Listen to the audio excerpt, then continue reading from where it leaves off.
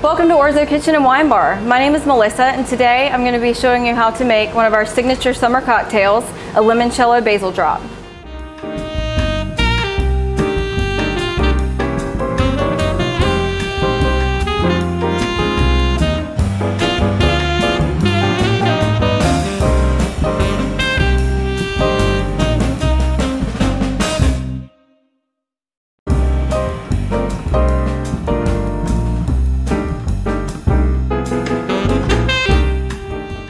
And this is our finished product, our signature limoncello basil drop, made from sacred basil from Down Branch Farms in Nelson County, Pallini limoncello from the Amalfi Coast in Italy, Grey Goose vodka, simple syrup, and some fresh lemon juice. You can get this anytime at Orzo Kitchen and Wine Bar. We're located in the Main Street Market in Midtown.